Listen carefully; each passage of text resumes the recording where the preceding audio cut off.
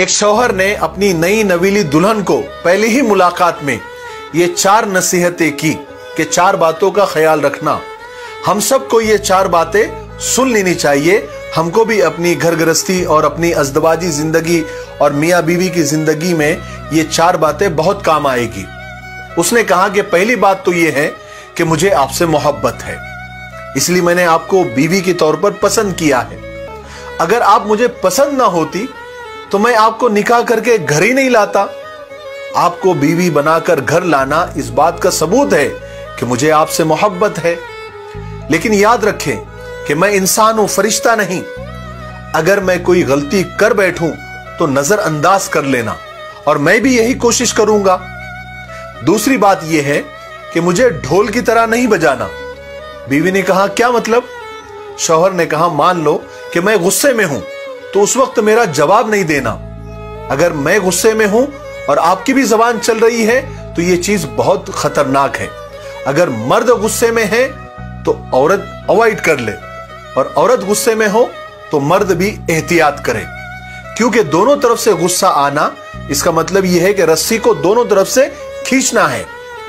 अगर कोई एक तरफ़ से रस्सी को खींच रहा है तो दूसरी तरफ़ वाला उसको थोड़ा ढीला छोड़ दे। अगर दोनों तरफ़ से रस्सी को खींचेंगे तो रस्सी टूट भी सकती है।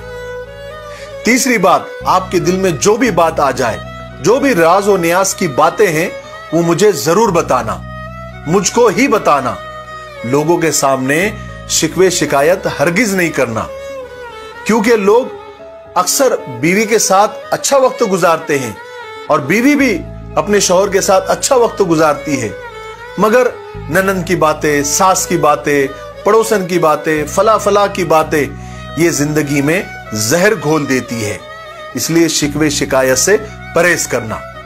चौथी बात, अगर कोई बात उसूल के खिलाफ मेरी जबान से निकल जाए, या आपको कोई बात मेरी बुरी लग जाए तो दिल में मत रखना।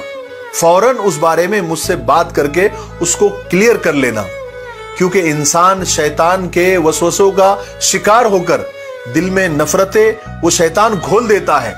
और ताल्लुकात खराब होकर फिर जिंदगियाँ उजड़ जाती है, जिंदगियों का रुख बदल जाता है। तो मेरी नई नई बीवी, मुझे उम्मीद है कि आप ये चार बातों का ख्याल रखेंगे।